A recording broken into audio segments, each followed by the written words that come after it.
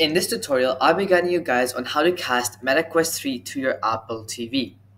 Unfortunately, MetaQuest 3 doesn't currently support direct casting to Apple TV. However, there are two workarounds you can try. The first method is to cast via iPhone screen mirroring. The first step is to make sure iPhone and MetaQuest 3 are connected to the same Wi-Fi network.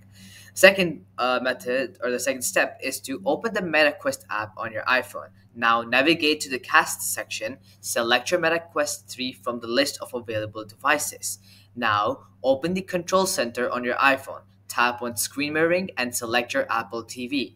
Now your iPhone screen including the MetaQuest 3 view should be mirrored to your Apple TV.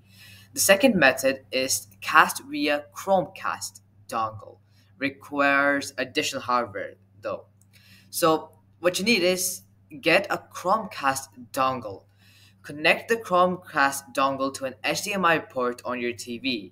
Set up the Chromecast using your iPhone or iPad.